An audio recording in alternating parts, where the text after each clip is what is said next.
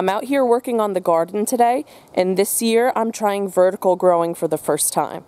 Alright, I have this planter that you stack, and there's 20 sections. So I'm going to fill all five layers with this organic Miracle-Gro soil, and then I have flowers and strawberries that I'm going to fill it with. I have two buckets of these strawberries. Blue My Mind, Dwarf Morning Glory. Right, these light pink and dark pink little flowers. I can't pronounce that. There's two pots of those. Alright, these are Golden Sphere Coreopsis. So these are some different colors of that hard to pronounce flower. And these are purple, white, and yellow ones. Alright, I got the first layer done. Two flowers and two strawberry plants. Here's the second layer. There's two strawberries and two flowers. Alright, third layer done. Once again, two strawberry plants and two flowers.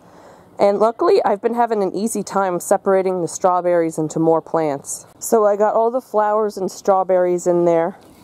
It filled up four layers. So I bought another one of those potted strawberry plants and just planted it in the top one like a regular pot. And this is how it looks all completed. Here is my pumpkin patch. I wanted to grow two pumpkin plants this year.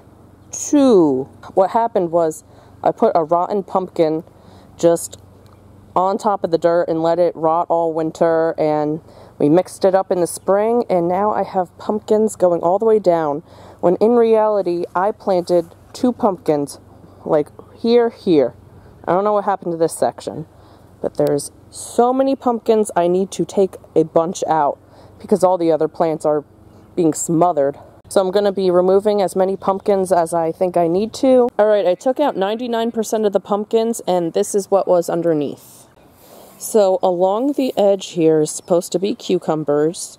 Then this is small bell peppers and large bell peppers. I've got rosemary in the corner. This is six plants of celery and a plant of asparabrock. It's starting to get the broccoli top.